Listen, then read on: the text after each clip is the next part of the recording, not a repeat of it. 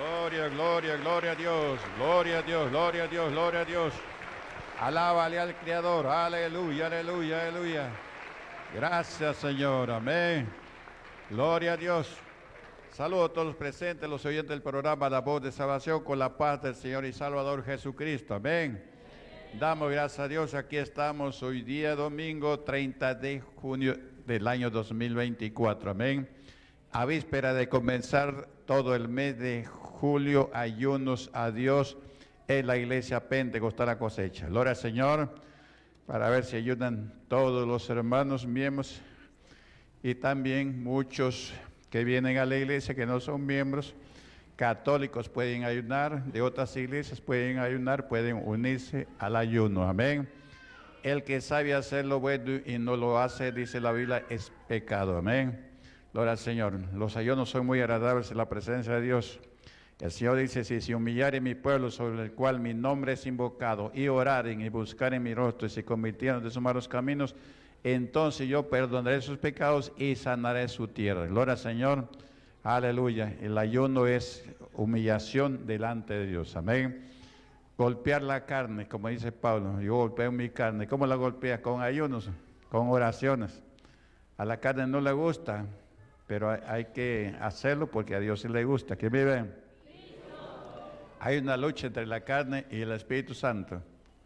El Espíritu Santo se opone a los deseos de la carne y los deseos de la carne se oponen a los deseos del Espíritu Santo. Así es lo que pasa a la persona. Somos, somos carne y esta carne lucha para no obedecer esta palabra. ¿Ya? Y el Espíritu Santo lucha para que nosotros obedezcamos, pero para eso debemos de orar, para que el Espíritu Santo esté en nosotros y nos ayude nos ayude para que nosotros podamos seguir adelante. Vamos a hacer una oración. Aquí tenemos dos botellas de, aceite. Vamos a orar para que queden ungidas para cuando los diáconos hacen campaña con unción de aceite ya tengan su aceite orado. Amén. Y vamos a orar también por la cena del Señor de hoy día. Hoy día pasamos la cena, muchos miembros aquí en Chota. Gloria al Señor. Aleluya. También están pasando la cena en varios anexos por acá. La cena ya se les ha enviado orada por el pastor. Los diáconos van y la reparten. Gloria al Señor. Aleluya. ¿Quién vive? Hoy ya también hay bautismo y cena en Nuevo Cajamarca. Están bautizando. El pastor eh, Walter Gómez está realizando ese bautizo. Gloria al Señor también estará realizando la cena del Señor en Nuevo Cajamarca. Vamos ahora. Levanta su mano para Dios. Tus ojos. Comienza así, gloria, gloria, gloria a Dios. Gloria a Dios, gloria a Dios, gloria a Dios. Aleluya, aleluya, aleluya. Gracias te damos, Señor, en esta hora. Gracias, Señor, por traernos a tu casa oración. Gloria a Dios, gloria a Dios, gloria a Dios. Bendice, bendice, Señor, todo lo que hagamos ya para gloria tuya, mi Dios. En el nombre de Jesús, gloria a Dios, gloria a Dios. Aleluya, bendice, Señor. Padre tanto la campaña aquí, Señor, en Chota, impacto del Padre de Dios, también todas las iglesias Pentecostal la cosecha, en todo lugar, Señor, santifica, Señor, la reunión. Mire estas botellas de aceite, Señor, úngela, Señor. Oro por este aceite, Señor, úngelo, Señor. Sea tu sangre, Señor Jesucristo, para que toda brujería, toda hechicería sea derrotada en el nombre de Jesús. Confirma, Señor, la derrota de todas las brujerías, hechicerías, enfermedades incurables se echada afuera todos los demonios. Sal, demonio, sal, demonio, salga, Señor. Unge esta botella de aceite, úngela, Señor. Gloria a Dios, gloria a Dios, gloria a Dios. Aleluya, aleluya, aleluya. Bendice, bendice la cena de este día, Señor. Aquí en todo lugar nos está pasando cena en la iglesia Pentecostal la cosecha, la iglesia que tú vas a venir a recoger, Señor. La cosecha será arrebatada en el día de la angustia y el dolor desesperado. Sí, Señor. Confirma la bendición, confirma la bendición en el nombre de Jesús. Gloria a Dios, gloria a Dios, gloria a Dios.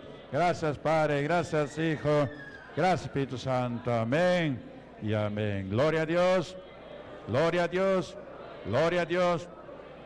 Amén. Reunimos aquí para glorificar su nombre. Reunímonos aquí para glorificar su nombre. Reunir. para glorificar su nombre, adorar al Rey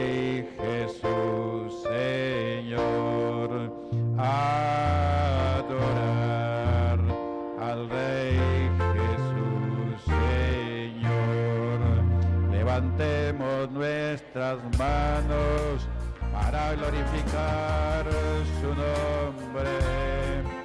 Levantemos nuestras manos para glorificar su nombre.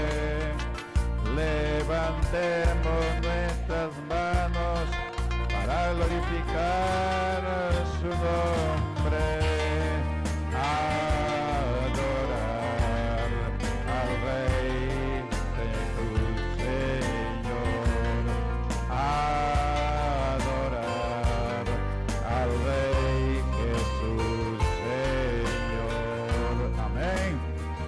Dios. Aleluya. Vamos ahora a la palabra de Dios en San Mateo capítulo 19. Vamos a hablar. Jesús enseña sobre el divorcio. Amén. Aleluya. Alabado sea el Señor. ¿Quién vive?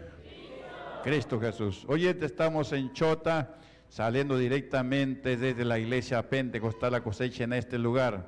Gloria al Señor, estamos saliendo en cadena con radiovisión y otras emisoras en diferentes partes de la patria peruana. Gloria al Señor.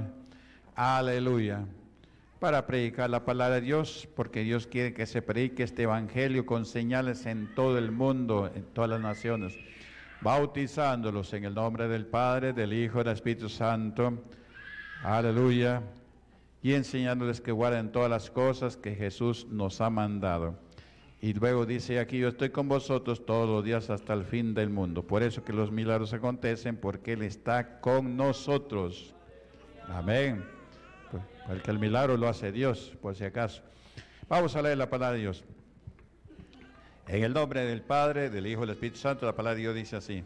Jesús enseña sobre el divorcio.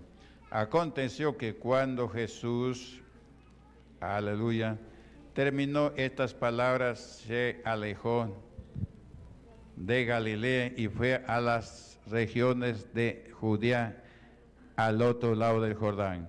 Y le siguieron grandes multitudes y los sanó allí. Entonces vinieron a él los fariseos tentándole y diciéndole, es lícito al hombre repudiar a su mujer por cualquier causa.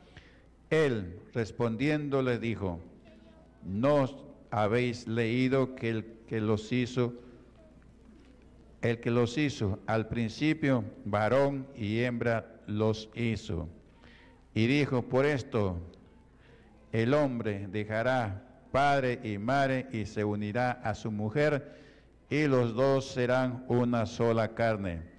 Así que como ya son ya no son más dos, sino una sola carne, por tanto lo que Dios juntó no lo separe el hombre. Le dijeron, ¿por qué pues Moisés mandó ¿Por qué pues mandó Moisés dar carta de divorcio y repudiarla? Él les dijo por la dureza de su corazón, Moisés os permitió repudiar a vuestras mujeres, mas al principio no fue así. Amén. Y yo os digo que cualquiera que repudia a su mujer, salvo por causa de fornicación, y se casa con otra adultera, y el que se casa con la adúltera, adultera. Amén. Vamos a orar, hasta ahí nomás. Levanta su mano para Dios, oremos, comienza a decir gloria, gloria, gloria a Dios. Gloria al Padre, gloria al Hijo, gloria al Espíritu Santo. Gracias, Señor, por tu palabra. En el nombre de Jesús, gloria a Dios, gloria a Dios, gloria a Dios. Aleluya, aleluya, aleluya. Drama tu bendición, Señor. Bendice a todos, Señor, mi Dios. En el nombre de Jesús, gloria a Dios, gloria a Dios, gloria a Dios. Confirma tu palabra, Señor, no regrese vacía. Ayúdanos, Señor, a entender y comprender. Sabiduría en lo alto, mi Dios, en el nombre de Jesús. Gloria a Dios, gloria a Dios, gloria a Dios. Gracias Padre, gracias Hijo, gracias Espíritu Santo. Y reprendo demonios, reprendo espíritu marino en el nombre de Jesús. Sal demonios, sal demonios, sal en el nombre de Jesús. Amén y amén. Gloria a Dios. Tome asiento, siéntese todos los que están presentes aquí en la casa de Dios. Iglesia Pentecostal cosecha en esta ciudad de Chota. Amén. Hoy hay una grande multitud, tanto en el primer local como el segundo local. Acá hay dos locales. Gloria al Señor y los dos están llenos para la gloria de Dios. Amén. Aleluya. ¿Y por qué la gente viene acá? Porque hay milagros. Acá hay milagros, sanidad, liberaciones. ¿Es así o no? Ayer estuvimos en Bamamarca, muchísimas personas sanas y curadas. Amén. Porque el Evangelio es así con señales. Esas son las señales del verdadero Evangelio. Para que la persona que quiere ser salva venga a la casa de Dios, donde están las señales, y eh, comience a hacer lo que la Biblia dice, porque si hay señales es porque en ese lugar se enseña lo que dice la Biblia, y es lo que Dios quiere, que hablemos lo que está escrito en la palabra de Dios, ni le aumentemos ni le quitemos, gloria Señor, porque así eh, dice el Señor, no le aumentes ni le quites a la palabra de Dios, gloria Señor, y eso es lo que tratamos de hacer acá, de, vivir conforme la palabra de Dios, hacer conforme la palabra de Dios. Gloria al Señor. Aleluya. Aquí la palabra de Dios nos habla que al Señor Jesús habla del divorcio. ¿Por qué? Porque lo tentaron. Usted quiere ser salvo, no lo tiente al Señor. Porque está escrito, no tentarás al Señor tu Dios. Que lo tienta al Señor lo está, lo está, ¿cómo se llama? Eh, lo está tentando y está acarreando condenación. A Dios no se le tienta. Gloria al Señor. ¿Quién vive? Aquí esto le tentaron, pero eso no se aprende. No aprendas lo malo, aprende lo bueno. La tentación es pecado, pecado terrible. Gloria al Señor. Y eso lo sigue, sigue, haciendo igualito hasta ahora. Pues me cuenta un hermano, dice, pastor, ahí en mi casa se ha caído un hombre del tercer piso y se murió. Gloria al Señor. Pero para eso ya le había dicho, porque dice, tres noches antes había llegado borracho, tocaba la puerta, le salía a abrir. Y bueno, le hablé algo de las cosas de Dios, que no haga eso, que no se emborrache, porque la palabra de Dios dice que los borrachos no entrarán en los cielos. Y le dijo, busca a Dios. Y dice, yo no, no voy a ir a tu iglesia porque a mí me gusta jugar fútbol y nadie me lo va a quitar que juegue fútbol. Y ya no juega fútbol porque ya le vino la muerte. Dios es el que hace morir y el que hace vivir, el que hiere y el que sana. ¿Qué hizo esa persona? Lo tentó al Señor. Lo tentó. Aleluya. A mí nadie me va a quitar que yo juegue fútbol. Aleluya. Y por eso yo no quiero ir a tu iglesia. Porque si voy a tu iglesia no juego fútbol. ¿Quién vive? Aleluya. Y ahora nadie le quitó. Pasaron tres días de lo que habló y se cayó arreglando una calamina en el techo del tercer piso y quedó instantáneamente muerto. ¿Y a su nombre? Aleluya. Y, ese es tentar a Dios. A Dios no hay que tentarle, por si acaso. A Dios no puede ser burlado. Todo lo que el hombre de eso lo va a cegar. Gloria al Señor. Aquí lo tentaron, dice, le preguntaron al Señor Jesucristo si era lícito dar carta de divorcio a su mujer. ¿Quién vive? O sea que alguien se casa y después que se casa le da carta de divorcio. Ya no quiere vivir con la mujer. Entonces Jesús le dice que, bueno, Dios los creó al principio hombre y mujer. Aleluya. Y así los creó Dios, hombre y mujer. Aleluya. Y por tanto, el hombre no debe abandonar a su mujer, ni la mujer debe abandonar a su marido, porque ya no son dos, sino uno solo. Es el matrimonio.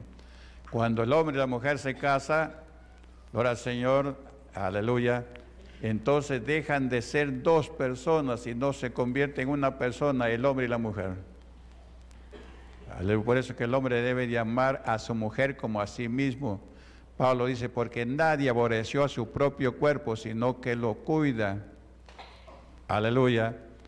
Entonces así también debe del marido amar a su mujer como a su mismo cuerpo, porque nadie aborreció jamás su propio cuerpo. ¿Quién vive? Y la mujer debe estar sujeta a su marido. Aleluya. Eso se enseña en la palabra de Dios. La mujer debe estar sujeta a su marido en todo lo que es conforme a la palabra de Dios. Aleluya, porque el marido también se le puede entrar al demonio y quiere que le obedezca en algo que no debe de obedecerle. Se obedece conforme está la palabra de Dios. Le dice su marido que eh, haga algo que está fuera de la palabra de Dios, ahí no te puedo obedecer, mi Señor, porque Dios dice que no haga eso. Y primero es Dios, después usted, mi Señor. Aleluya, ¿quién vive? Es lo que debe responder la mujer. No lo hago porque eso es pecado. Lo que es pecado no se hace. Porque el marido te puede decir, mira, la palabra de Dios dice que me obedeces en todo y tú no me obedeces. No, en todo lo que es bueno. ¿Ya? De tener lo bueno y desechar lo, lo malo. ¿Quién vive? Aleluya. Entonces, este, acá el Señor habla sobre el divorcio y dice que, y le dijeron, ¿cómo Moisés este, aceptó que, que este, le dieran carta de divorcio a la mujer? Moisés aceptó eso. Aleluya. Entonces Jesús le dice, por la dureza del corazón es que Moisés aceptó eso, hizo. Por la dureza de su corazón. ¿Quién vive? Ya, entonces ese es el problema porque hay el divorcio. Y después de ser salvo por causa de fornicación, el hombre puede divorciarse. Le da carta de divorcio. Salvo por causa de fornicación, no por otra cosa. Vamos a Romanos. Vamos a hablar algo del matrimonio para que sepan los hermanos hermanas. Aleluya. Gracias a Dios, problemas sobre eso no hay mucho acá, pero en otros lugares sí hay. Romanos capítulo 7. Gloria al Señor. Romanos capítulo 7, versículo. Aleluya. Versículo 1 mm, adelante. Dice así. ¿Acaso ignoráis, hermanos, pues hablo con los que conocen la ley, que la ley se enseñará del hombre en tanto que éste vive, porque la mujer casada está sujeta por la ley al marido mientras éste vive, pero si el marido muere, ella queda libre de la ley y del marido. ¿Está escuchando? Gloria Señor. Porque la mujer casada está sujeta por la ley al marido. ¿Quién vive? ¿Qué vas? Mientras que éste vive, la mujer está sujeta al marido mientras que el marido vive en cualquier lugar. Mientras el marido está vivo, la mujer no puede casarse con otra persona. Así el marido se haya ido. ¿Quién vive? El 3. Así que si en vida del marido se uniere a otro varón, será llamada adúltera. Pero si su marido muere, es libre de la ley de tal manera, si se uniere a otro marido, no será adúltera. Queda libre para volverse a casar con otra persona y no será adúltera. Pero si se casa mientras el marido vive, entonces será llamada adúltera. ¿Quién vive? Pero mi marido está por, eh, por, el extranjero, hace años que no viene, pero el marido está vivo. Pues. Y mientras está vivo, aleluya, no puede casarse. Está separado, sí. Pueden unirse cuando quieran, sí, con el marido, pero no puede casarse la mujer mientras el marido muere. Vive. Y si el marido muere, queda libre para casarse con quien quiera. ¿Quién vive? El apóstol Pablo habla lo siguiente, 1 Corintios capítulo, capítulo 7, ahí habla muchísimo del matrimonio. Aleluya. Habla incluso de las jóvenes que no quieren casarse. que no pecan. Y si un padre de familia no quiere que se case su hija joven, tampoco peca. Aleluya. Pues para casarse tiene que consultar con sus padres. Si los padres están de acuerdo, se casan. Porque el padre no puede, de no está de acuerdo. Entonces, si, está de, si no está de acuerdo, no se le puede obligar que se case. Porque acá dice que si el padre de familia no quiere que se case su hija, no peca. ¿Quién vive? Pues que el matrimonio tiene que coordinarse con los padres de familia para si están ambos de acuerdo. ¿Quién vive? Es el matrimonio. Aquí en el matrimonio habla muchas cosas que hay que nosotros hacer. Que la mujer no puede, este, vamos a leer desde el versículo 1 adelante. No estoy en 2 de Corintios, 1 de Corintios, capítulo 7. Gloria al Señor. Versículo 1 adelante. Dice problemas del matrimonio. En cuanto a las cosas que me escribiste, bueno le sería al hombre no tocar mujer. ¿Está escuchando, sí? Bueno le sería al hombre no tocar mujer por varias cosas que de repente usted no sabe, pero hay por varias cosas. ¿ya?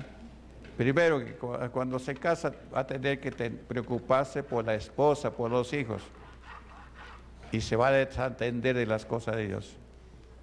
¿Ya? Así de sencillo. Y después el hombre pierde sus fuerzas. Aleluya, quien vive. Tanto físicas y también espirituales. ¿Ya? Pues yo no quería casarme. Sino que el Señor me dijo, cásate. ¿Para qué? ¿Para qué pastorees tu iglesia? Que vive. Y lo que Dios dice hay que hacerlo. Entonces ya yo me casé, pero antes que me case yo oraba por así poner la mano en el lugar y los enfermos y los caían por tierra así sin que les ponga la mano. Ponía uno como árboles que se iban así. Ya, después que me casé ya no, normal como cualquier hermano. ¿Quién vive? Grande no, pues. yo sabía eso.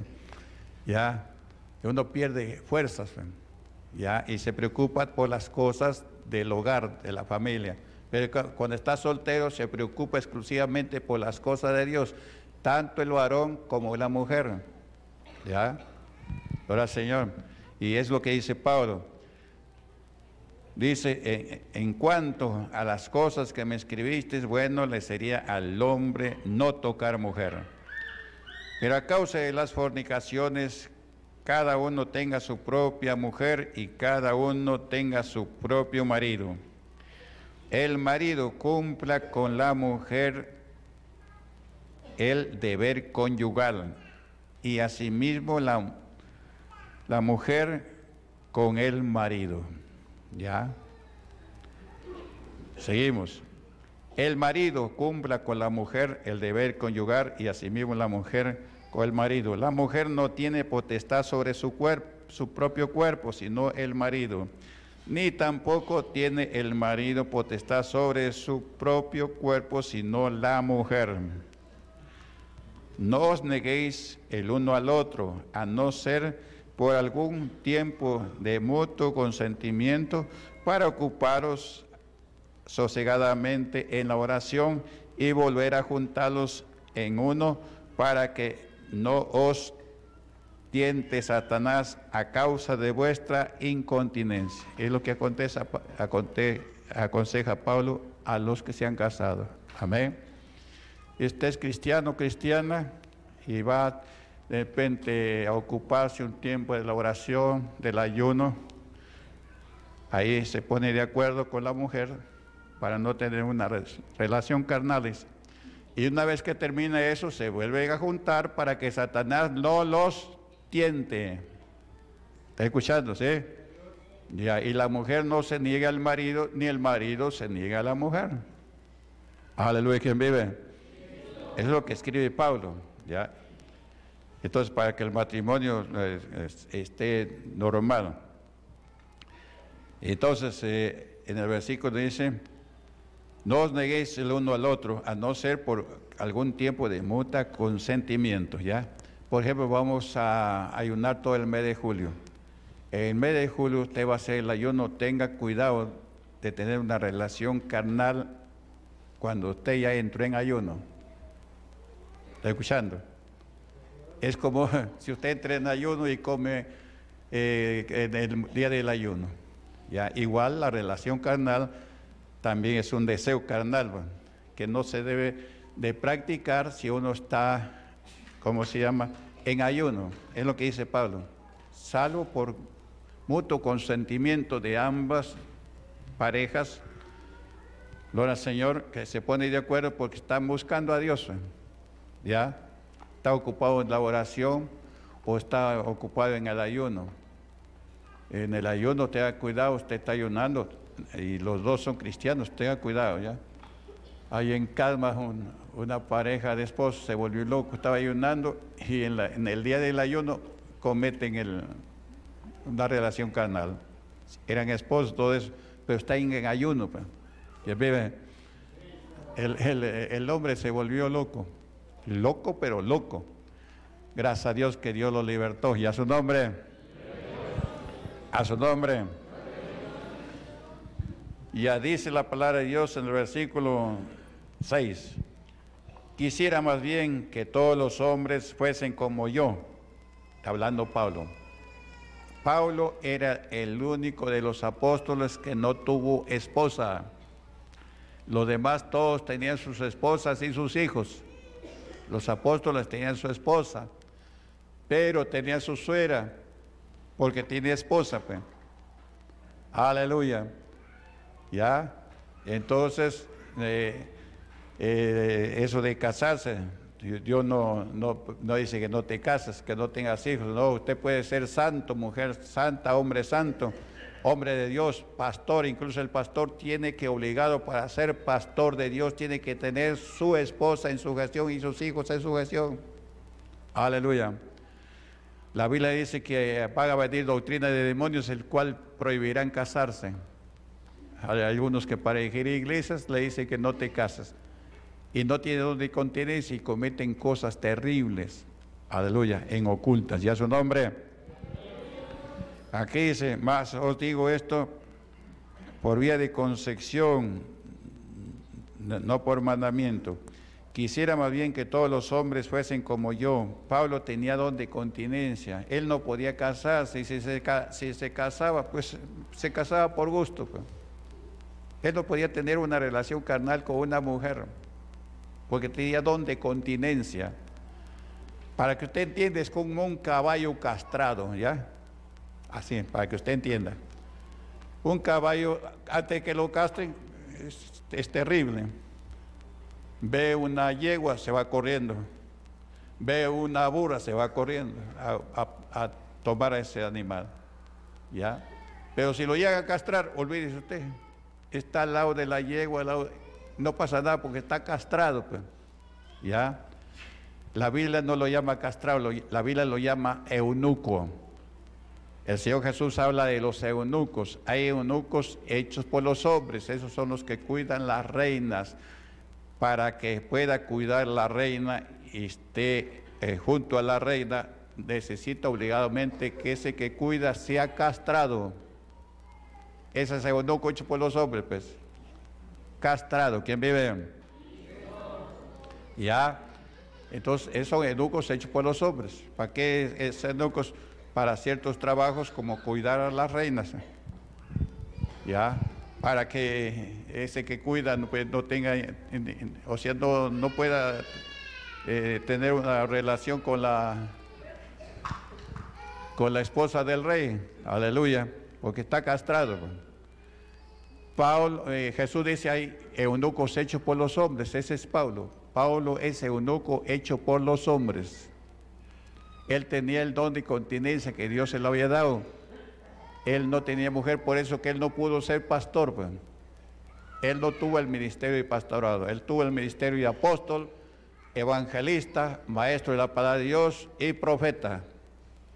Profeta porque todo lo que él escribe, eso se cumple. Pues. Es el profeta de Dios. que vive?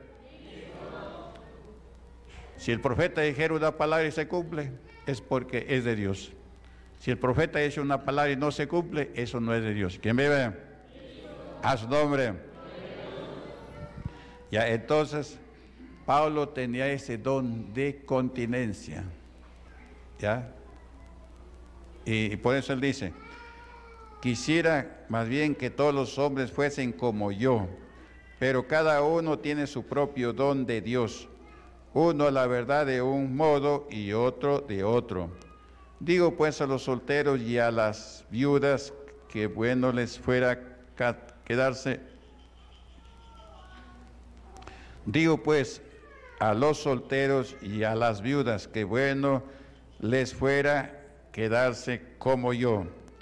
Pero si no tienen don de continencia, cásense, pues mejor es casarse que estarse quemando. ¿Quién vive?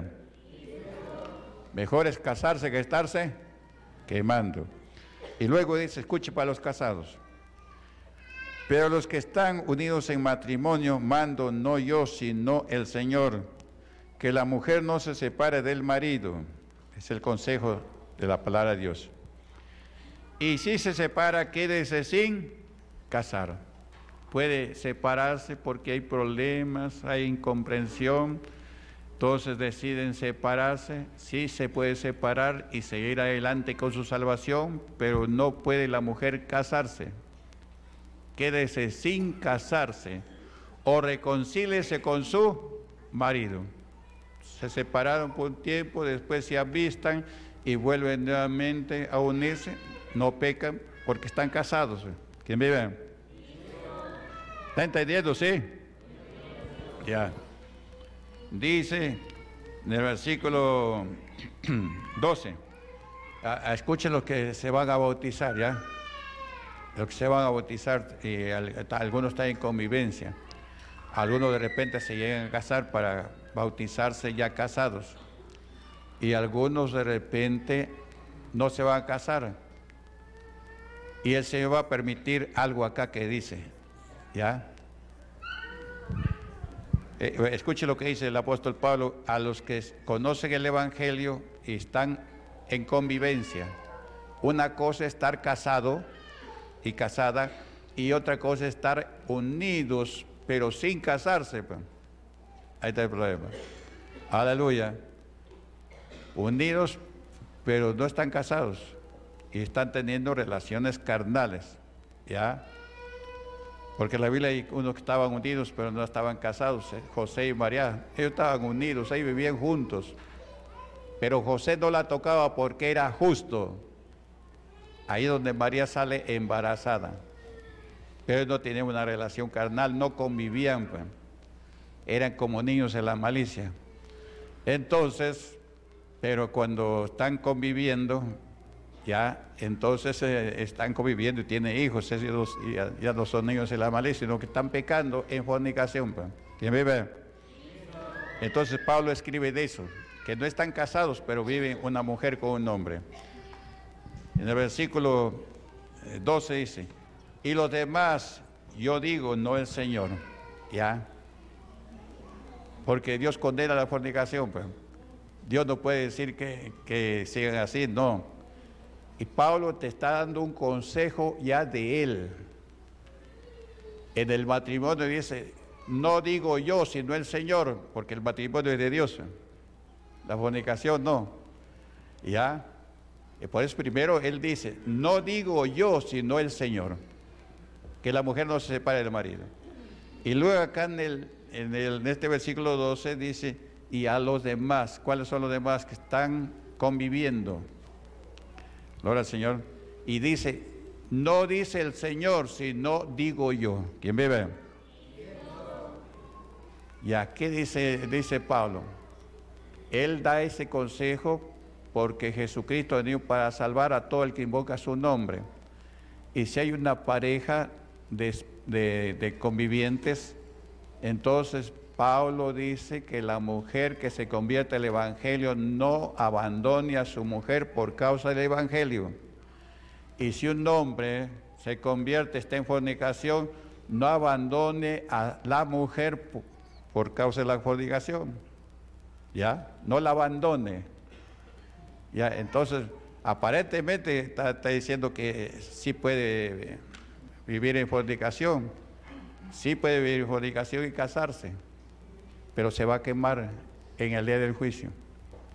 No para condenación eterna, pero va a salvarse con fuego. Y Dios no quiere eso. ¿Ya? Tiene la opción de salvarse con fuego. Por eso Pablo dice, mejor que te cases antes que estarte quemando. No se va al infierno, sino que es cristiano, aceptó a Jesucristo, quien le perdonó, pero sigue en el pecado y el pecado es muerte. Cuando muere, en el día del juicio, va a ir allá a dar cuenta y allí va a pasar la gloria de Dios, como dice este 1 Corintios capítulo 13, y va a pasar con fuego. Se salva, pero con fuego. ¿Quién vive? Y Dios no quiere eso. ¿Ya? Entonces Pablo dice, por eso dice Pablo, no dice el Señor si no digo yo. Entonces esas personas que están así, no arreglaron su vida, pueden seguir llegando a la iglesia y, seguir su salvación. No se, no se bautiza porque para bautizarse no puede haber una persona que esté en fornicación. Pues. ¿Ya? Una cosa es ser miembros que pasan cena y otra cosa ser visitantes y siendo visitante usted se puede salvar. ¿Ya? Usted se puede salvar si es visitante, reconoce cuál es su iglesia del Señor y usted sigue fiel, pase lo que pase, sigue adelante, se llega a salvar. Pero está en convivencia, ¿ya? Esa convivencia le va a traer consecuencias en el día del juicio. Se va a salvar, pero con fuego. Pues. Y no quiere Dios que se, salve con fuego, que viva. Es lo que pasa. Por eso Pablo dice, mejor es casarse que estarse quemando. La fornicación te quema. Si usted no, no se casa, pero no tiene una relación carnal así, no hay problema.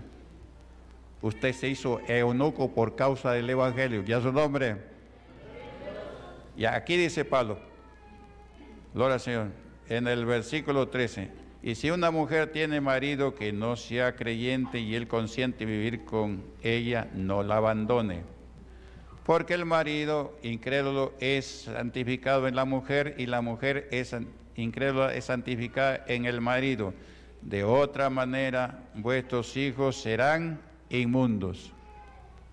O sea, viene la iglesia, está en convivencia. Ya, uno es cristiano, el otro no es cristiano. ¿Ya?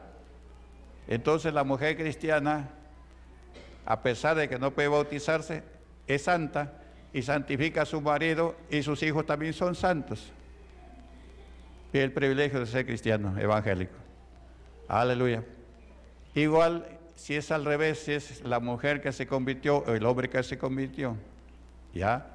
No puede bautizarse, no puede pasar cena, pero sigue la iglesia y se va a salvar. ¿Quién me ve? Y a veces eso se porta mejor que el que está pasando cena. Sí, yo conozco eso. Y Dios lo utiliza. Dios lo utiliza. ¿Quién vive? Dice en el versículo 15, eh, escuche, el versículo 5, usted que se va a bautizar está en convivencia. Hoy día conversé con una hermana y, dice que dos bautizos no puede eh, bautizarse porque está en convivencia. y aquí dice lo siguiente, Escuche. En el versículo 15, pero si el incrédulo se separa, sepárese, pues no está el hermano o la hermana sujeto a servidumbre de semejante caso, sino que a la paz nos llamó Dios. Este versículo es muy importante. Si el incrédulo o la incrédula quiere separarse, sepárese pero el incrédulo tiene que dar la iniciativa. Y si le da la iniciativa, usted quiere ser salvo, ahí tiene que operar. ¿Ya? ¿Cómo el, incrédulo va a decir, yo me separo de ti porque tú eres, eh, aleluya, gloria a Dios, no, no andas conmigo donde yo quiero estar? Y la Biblia dice, sepárese. ¿Ya? Y tenga cuidado. Si el, si el conviviente, sea hombre, sea mujer, usted quiere bautizarse y usted le dice que vamos a casarnos porque estamos en pecado, y le dice, no, yo me separo. Si le dijo yo le separo, eso viene de Dios. Dios vivo le puso la palabra a esa persona. Y usted ahí de ahí ya tiene que aceptarlo nada más. Sea hombre, sea mujer. Y se bautizan, porque ellos quieren que se bautice. ¿Quién vive? Para que ya no vive en pecado, para que usted no, no, esté, no, no se queme en el día del Señor. ¿Quién vive? Entonces ahí, ahí, sí bien, ahí sí bien delicado. Usted lo hace, sigue adelante. Pero el incrédulo después puede querer volver, el diablo lo va a traer y tentarle. Y si es posible decirle, ya me quiero casar contigo. Y si es posible venir a la iglesia. Eso hay casos así. Ha llegado a la iglesia bautizado por un tiempo hasta lograr que la mujer que por causa del evangelio se separó se vuelva a hundir y se llega a casar. Pero el marido ya no sigue. Ya no sigue. Ahí está el problema. Y le hace problemas a la mujer, ah, porque ahí viene el problema ya, porque no obedeció a Dios. Dios solamente dice una vez. Y Dios no es hombre para que mienta. ¿Ya? Dios no es hombre para que mienta. Gloria Señor. Ni para que se arrepienta.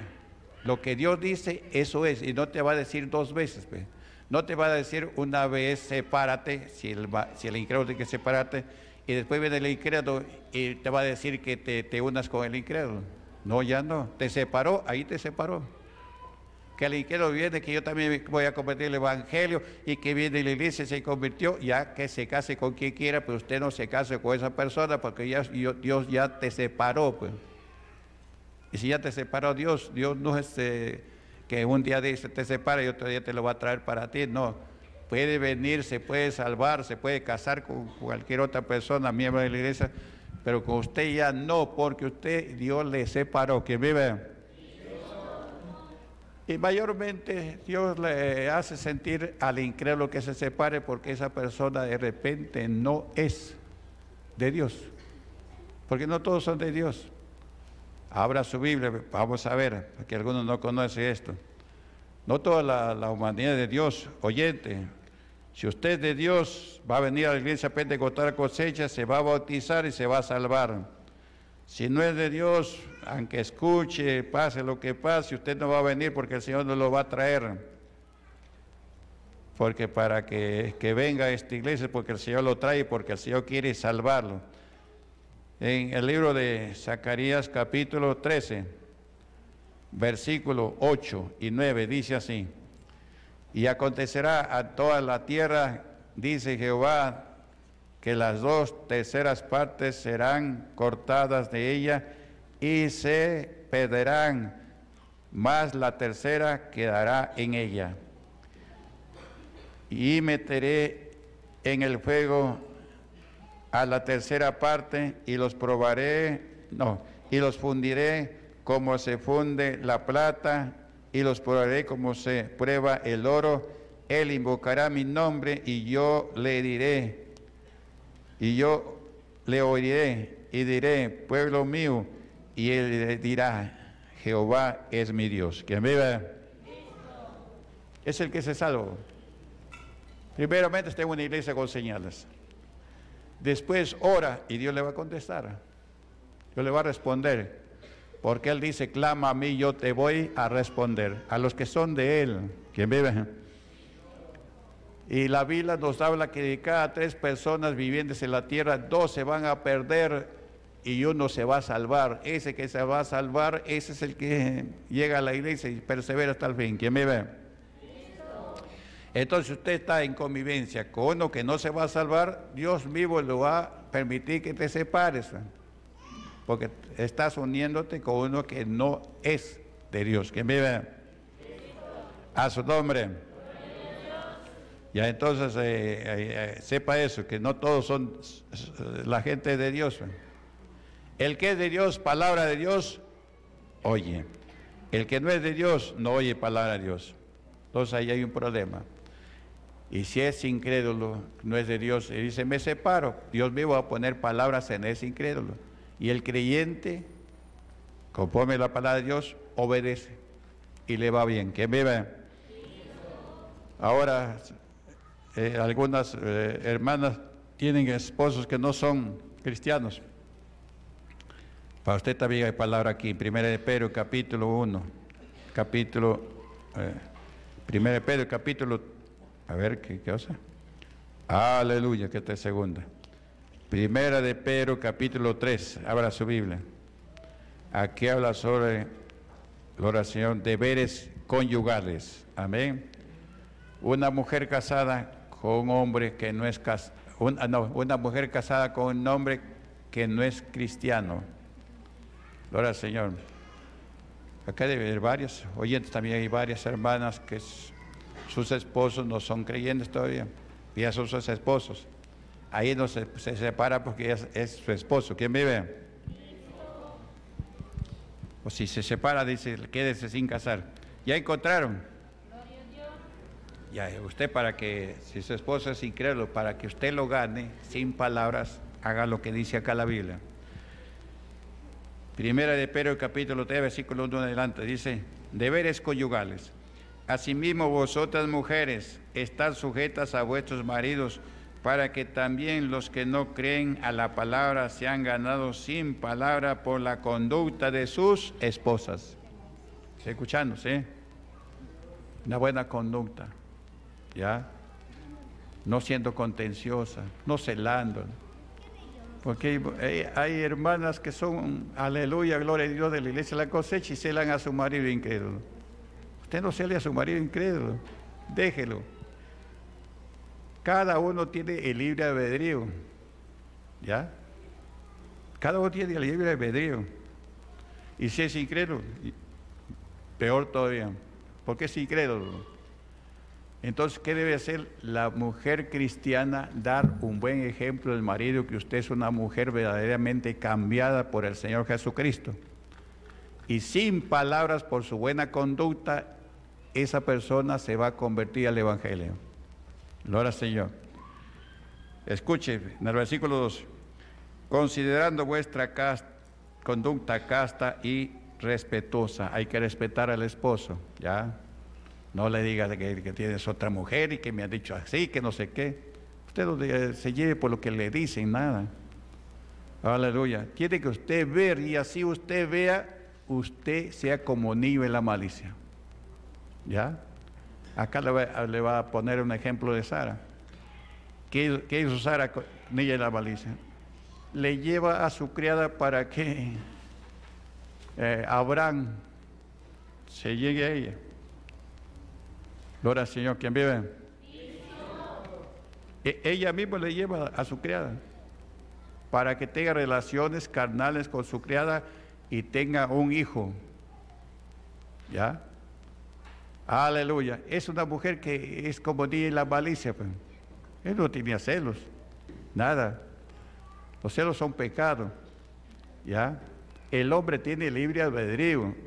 Usted le impide por los celos, usted está cortando la libre albedrío, está haciéndose más que Dios. Si Dios le deja al hombre libre albedrío. ¿Y usted quién es para que no se lo deje? Para que le impida para que le haga problemas, que tienes otra mujer y a veces el hombre ni tiene otra mujer.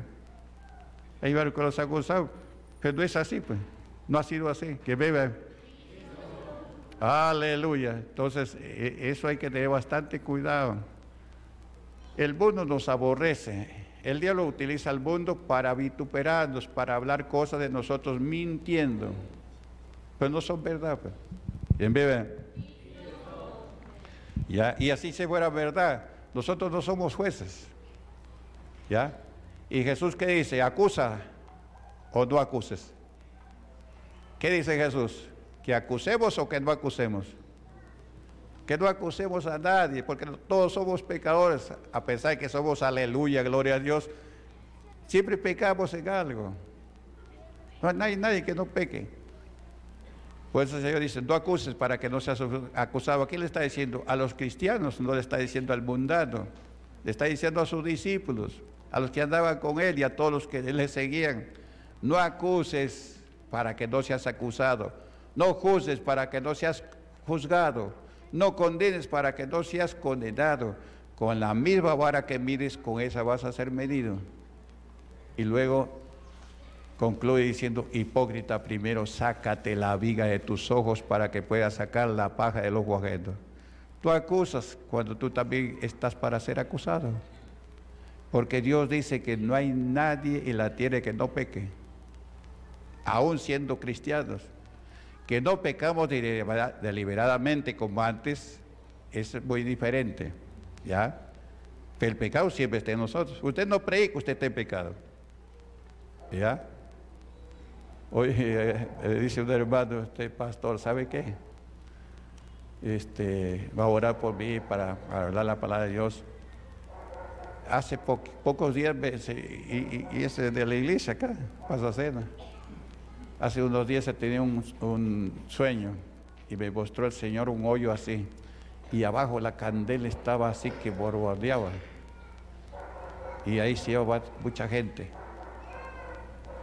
Y le dijo al hermano, si tú no hablas de mi palabra, ahí vas a ir. Y muchos no hablaban la palabra de Dios. ¿Y qué cosa estamos? Pecando. Y pensamos que no pecamos y juzgamos al que de repente ha hecho alguna cosa y lo juzgamos. ¿Qué bebe?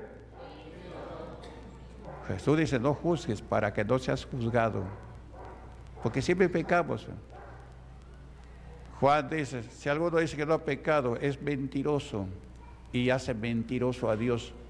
¿Y por qué lo hace mentiroso a Dios? Porque Dios dice en su palabra que no hay hombre que no peque.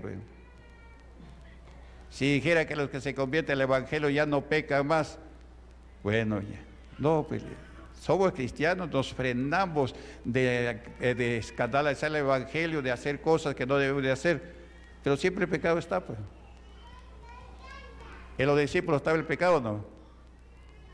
¿Ah? Pero pecó o no pecó. Pecaba, pues. Pero hay pecados, gloria al Señor, que son deliberadamente. Esos ya no tienen más salvación ya conoce el Evangelio, escandaliza el Evangelio, vive como cristiano un Evangelio desordenado que los demás lo están mirando, que usted está pecando. Entonces escandaliza el Evangelio y ese es el peor pecado. ¿Ya me ven? Pero de que pecamos, pecamos. A veces le prometemos al Señor, no lo hacemos, ya estamos en pecado. Y ni cuenta nos damos. ¿Que me? Voy a leer esa mañana y el diablo te pone pensamientos que te vayas a ver a tu vaca, a tus, animales y ya no vas a la iglesia. Ya pecaste ya. Que vive. Así de sencillo. Entonces, eh, el pecado siempre está. No hablamos el evangelio a otros, estamos en pecado. Al hermano le dice: Mira, si tú no, no hablas de mi palabra, ahí vas a ir. Y el hermano es miembro de la iglesia. Es miembro de la iglesia. Para acá apoyando. Que vive Aleluya. Usted también hable la palabra de Dios, ¿ya? Hable, hable. No tenga vergüenza, no sea tímido, porque Dios está con nosotros y Él pelea por nosotros. Y a su nombre. A su nombre. Y acá dice la palabra de Dios en el versículo 4.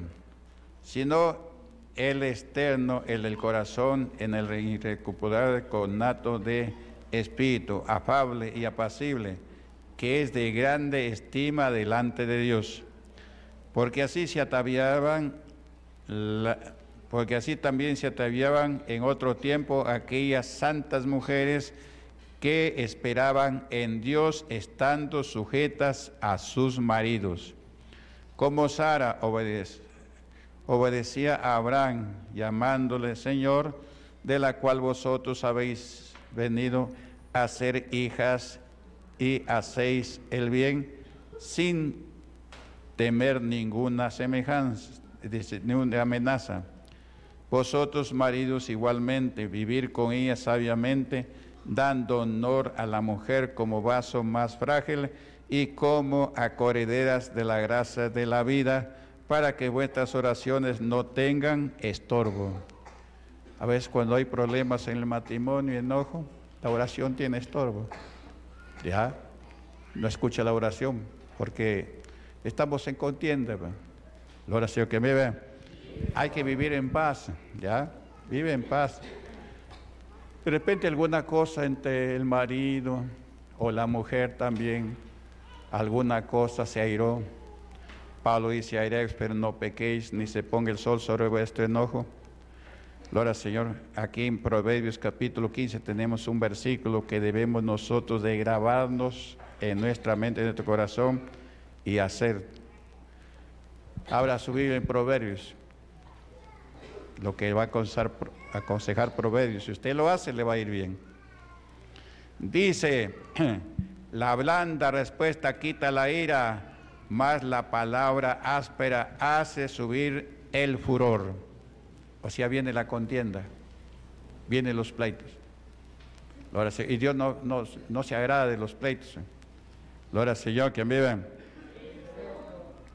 La blanda respuesta quita la ira. Alguien le habla mal a usted, pero usted tiene una respuesta blanda, una respuesta mansita, una respuesta, como dice la Biblia, que el pecado se corrige con misericordia y con verdad, sin airarse, sin enojarse, sin hacer contienda. ¿Ya? Gloria al Señor, es lo que debemos de hacer. Pues. Pero si están entre esposos, uno se, eh, se, habla una palabra así y el esposo o la esposa le contesta peor, ahí vienen los pleitos. ¿eh? Ahí es donde vienen los pleitos. Usted tiene una respuesta, una respuesta mansa, mansita, eh, no, no, hay ira, no hay enojo, no hay pecado. ¿Quién me ve? La blanda respuesta quita la ira.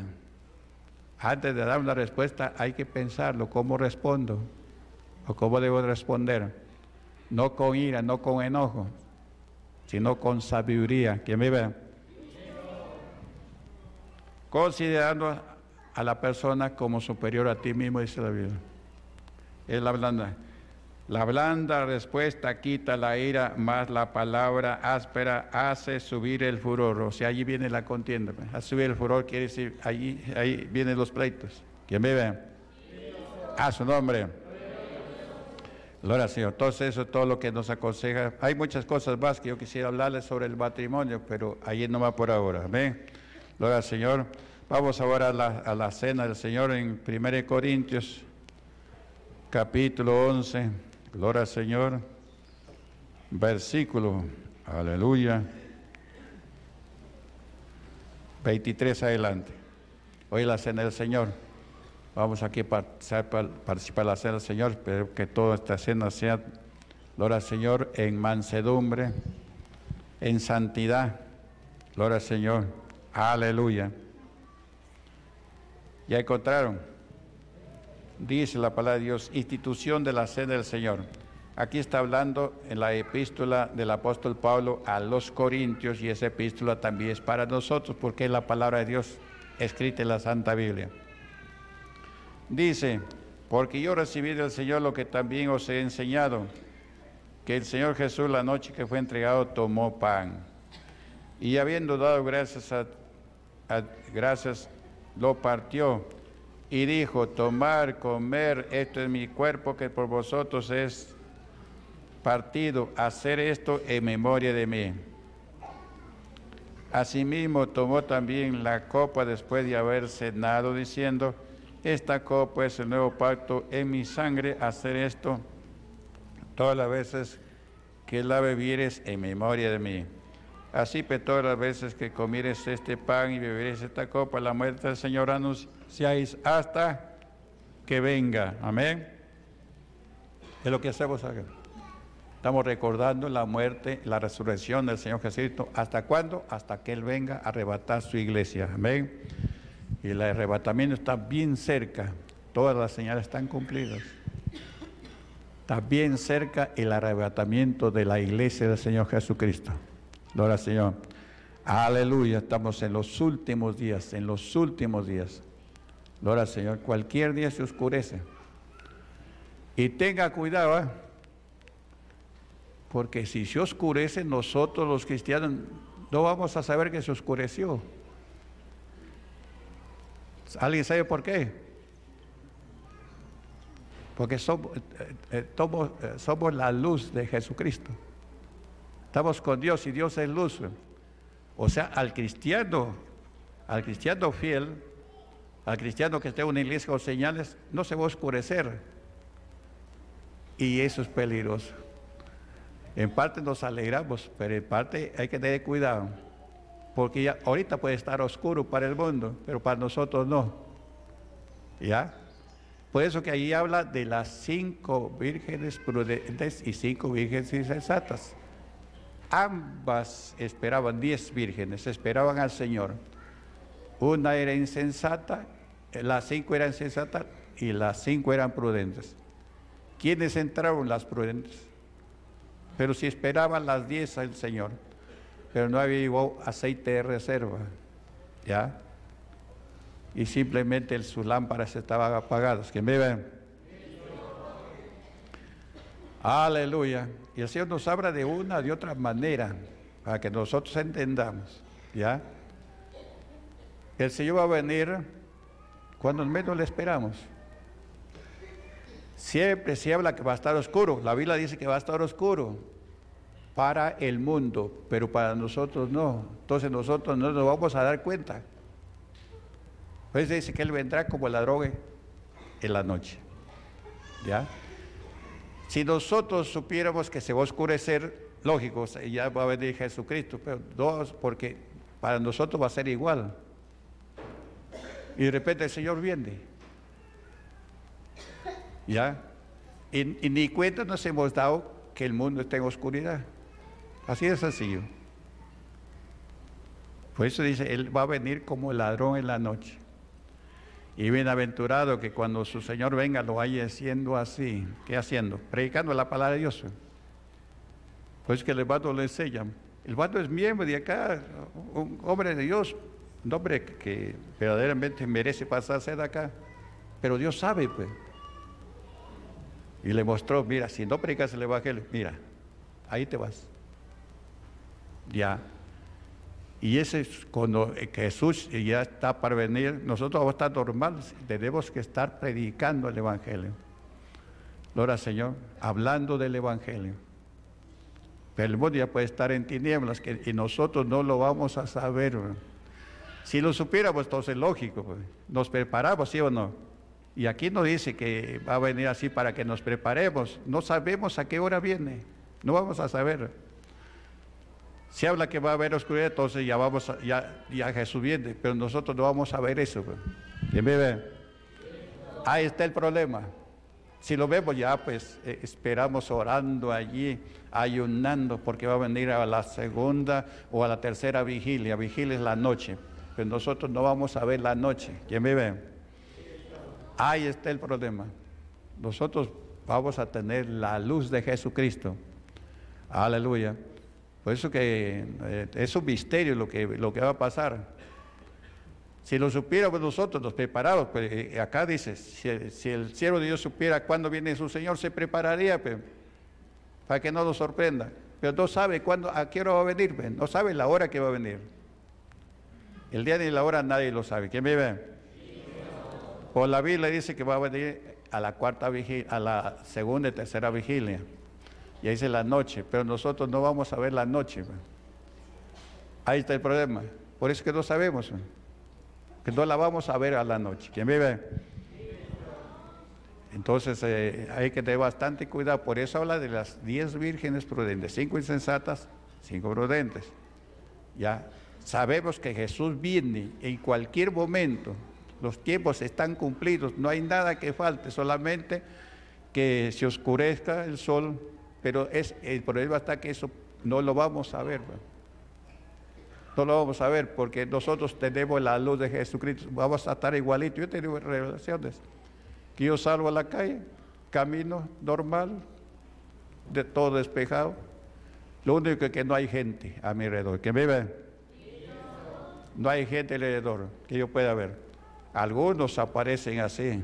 Entonces yo les hablo les hablo de Jesucristo y esa persona se convierte en luz. Después aparece otro y yo le hablo del Evangelio y se aparece en luz. Es lo que, es lo que va a pasar también. Pues. Por eso quiere que prediquemos, que prediquemos para que, cuando Él venga nos encuentre haciendo así. ¿Qué hacía Él? Predicaba, pues estaba predicando el Evangelio. Y otros estaban escuchando la palabra de Dios. Ya su nombre. Por eso hay que siempre estar pendientes que en cualquier momento el Señor viene. Orando, Señor, cuando tú vengas, Señor, que me halle como a las cinco vírgenes prudentes. Ahora, Señor, que me vea. ¿Ya? Porque si, estamos igual y, y, Él viene y estamos descuidados, nos podemos quedar. Quedando nos quedamos, ¿ya? De quedarnos nos quedamos, sino que nos lleva tibios. Y el tibio no entra al reino de los. Por eso el Señor dice, mejor es que fueres frío o caliente, antes que ser tibio. Porque si eres tibio, te voy a vomitar de mi boca. ¿Cuánto le va a vomitar de su boca? En el día del Señor Jesús. Ahora subir el segundo de Corintios. Siempre lo leemos eso y le hago recordar para que usted no se olvide. Capítulo 5, versículo 10. O, o 9 también, ya. Dice así. Por tanto, procuremos también ausentes o presentes, serle agradables. Serle agradables. Está hablando de la iglesia que va a arrebatar. ¿Ya? Eso dice Pablo, serle agradable. E-, ese agradable está caliente y se va a ir y se va a salvar. No le somos agradables, va a estar tibio y se va a perder. Versículo 9. Versículo 10 porque es necesario que no todos nosotros compadezcamos ante el tribunal de Cristo, para que cada uno reciba según lo que haya hecho mientras estaba en el cuerpo, sea bueno o sea malo. ¿Cuándo va a ser? En el tribunal de Cristo. Pues. Ahí está. Va a ser arrebatado. Inmediatamente no va a ser salvo, sino va a pasar al tribunal de Cristo. Va a pasar la gloria de Dios. Algunos que estando en el cuerpo de Cristo cometieron fornicación, va a ser quemado. Puede salvarse, pero con fuego. Pero otros no se van a salvar porque están fríos. Mayormente iglesias que hablan de Jesucristo, que predican y le dicen a la gente, arrepiéntete, ladrón, sinvergüenza, idólatre, borracho. Aleluya. Hay predicadores de eso. Pues. ¿Y por qué no te arrepientes tú primero? ¿Quién vive? Aleluya. E, eso también va a ser arrebatado. Pues. Esos los tibios también van a ser juzgados. También va a estar acá. Y de allí abajo. El Señor nos habla en diferentes maneras. Nos habla de un rey que hizo bodas para su hijo y llegaron los invitados que había invitado y estaban vestidos de, de boda, pero había uno que no estaba vestido de boda. Y el padre Pablo le dice, ¿cómo has entrado aquí? Ya, dice que se avergonzó, no tenía nada que... ¿Cómo entraste aquí si está, sin estar vestido de bodas? Es el que va a estar acá y no se salvó. Y luego dice, agárrelo, sáquelo y tírenlo a las tinieblas. Ya es, es lo mismo que está acá le va a dar el pago, sea bueno o sea malo, mientras estuvo en el cuerpo de Cristo. Los pecados anteriores el Señor se los borró, los arrojó hasta el fondo del mar, no se acuerda más de él. De ahí para adelante, de ahí le va a tomar en cuenta. Sea bueno o sea malo. ¿Quién ve? Celó a su esposo, malo. El esposa maltrató a la esposa, malo. Aleluya. Por eso no siembre para que no coseche. Todo lo que el hombre sembrare, eso va a cosechar. Ya su nombre.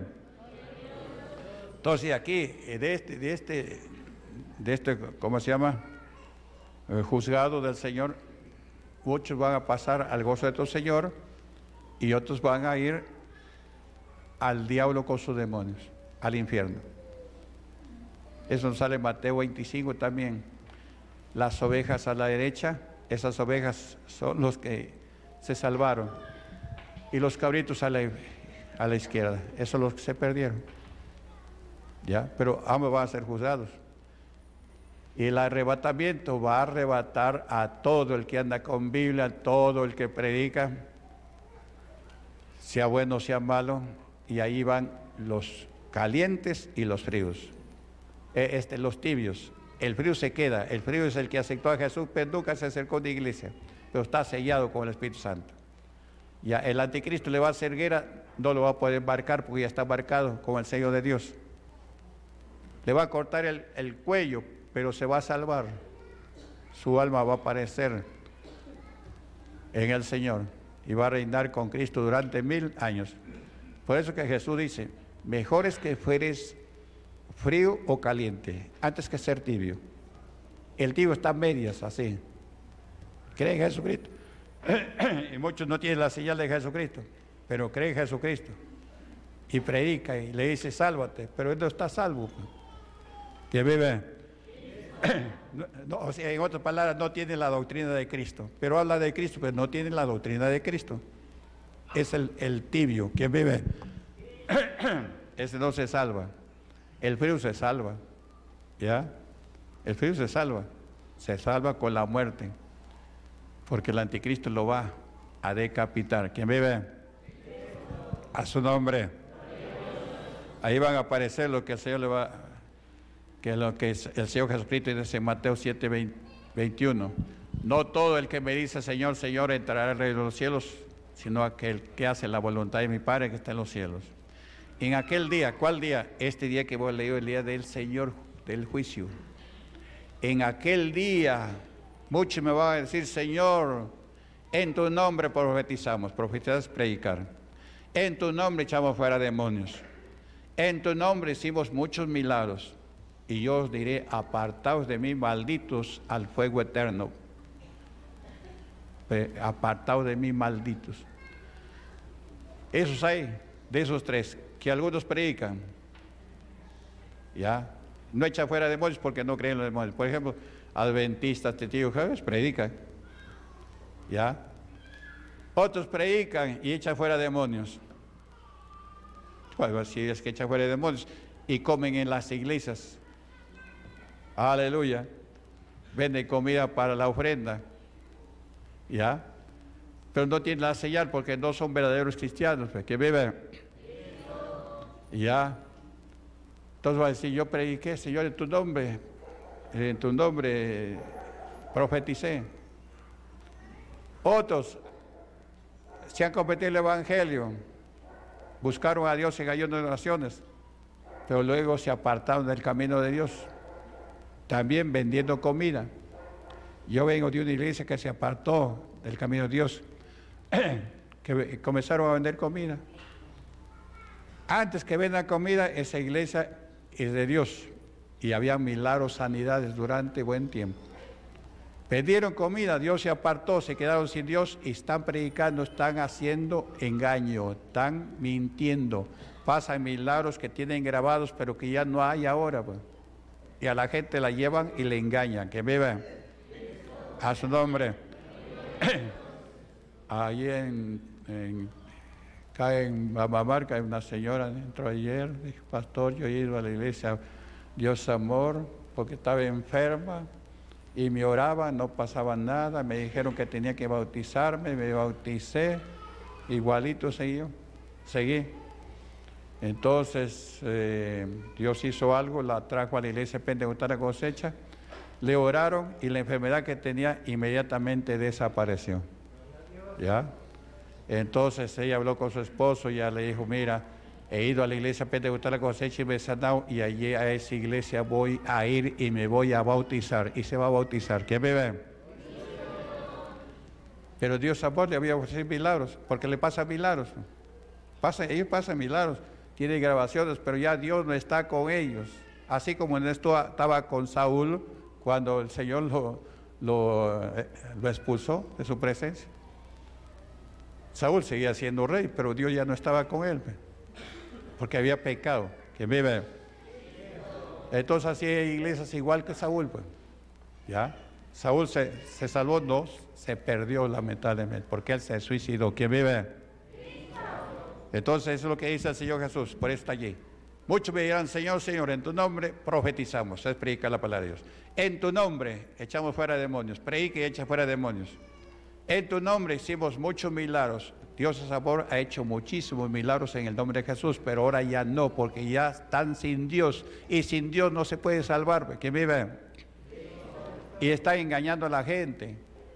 Y incluso eh, impiden para que venga a la verdadera iglesia porque le están mintiendo. Pues. Y el diablo también que se encarga de llevarles a donde está la mentira y no a donde está la verdad. ¿Quién vive? Y el Señor dice, yo declaré apartado de mí, malditos a de maldad. Echar fuera demonios no es malo porque Jesús ordena que hay que echar fuera demonios. Orar por los enfermos para que se sanen no es pecado porque Jesús ordena que se ore por los enfermos y los enfermos se van a sanar. Son las señales del verdadero evangelio.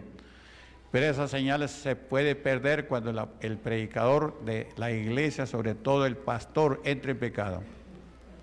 Ya. En la iglesia, los miembros pueden pecar algunos, pero el pastor se mantiene. Entonces, eh, eh, el, pastor tiene que corregir la iglesia para que no se contamine. Y ahí la iglesia sigue, sigue, sigue. Pero si la cabeza se contaminó, el Dios sabe quién se contaminó. El pastor de la iglesia. Me denunció a mí penalmente y un pastor no puede hacer eso. Pues. Y me sacó orden de captura. Se convirtió en diablo porque es el diablo el que mete en la cárcel a los cristianos. Que me Aleluya. ¿Ya? Eso es lo que ha hecho el pastor de la iglesia pentecostal Dios Amor y el pastor es el que representa todo. Pues.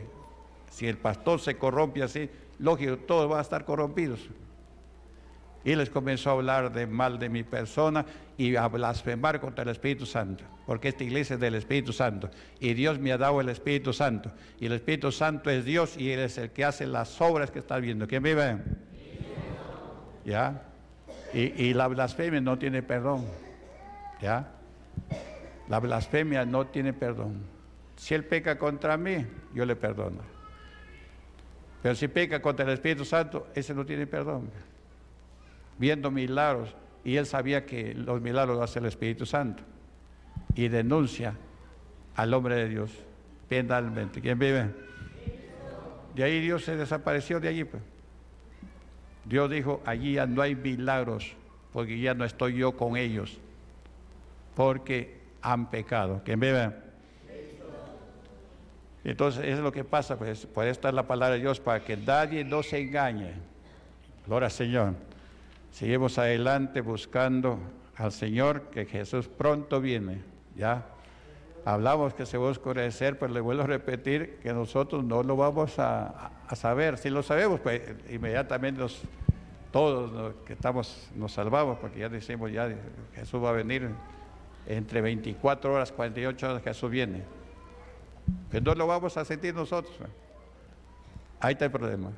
A mí me gustaría sentirlo, estar en la oscuridad, pues ya sé que ya va a venir Jesús a llevarnos. Pero nosotros no, va a venir repentinamente sin que nosotros lo sepamos. Porque el Señor dice, si, si vosotros sepáis, pues se van a preparar. Ya va a venir como ladrón en la noche cuando todos están durmiendo. Ya, todos están durmiendo, Todo está sin aviso que va a venir. Hay señales que dice la Biblia, pero esas señales son para los incrédulos, esa señal. Y cuando la iglesia sea arrebatada, el sol nuevamente aparece, los incrédulos van a buscar la iglesia, Señor, ya no la van a encontrar. Ya no van a encontrar. Van a buscar la Biblia, ya no la van a encontrar porque la vida también va a desaparecer. ¿Quién vive? Y, y, ya, y van a tener hambre y sed de oír la palabra de Dios, pero no la encontrarán. Dios bendiga cada hermano, cada hermana, vamos a poner de pie, vamos a dar gracias al Señor. Aleluya, y vivamos una vida cristiana lo mejor que podamos en la presencia de Dios, amén. Gloria al Señor. Aleluya. Levanta tu mano, comienza así, gloria, gloria, gloria a Dios. Gloria a Dios, gloria a Dios, gloria a Dios, gloria a Dios. Aleluya, aleluya, aleluya. Gracias te damos, Señor, por tu palabra. Bendice, Señor. Santifica, Dios mío. El nombre de Jesús. Gloria a Dios, gloria a Dios, gloria a Dios. Aleluya, aleluya, aleluya. Derrama tu bendición, Señor. Bendice a todos los oyentes de la radio también. Confirma, Señor. Confirma, mi Dios. Gloria a Dios, gloria a Dios, gloria a Dios. Aleluya, aleluya, aleluya.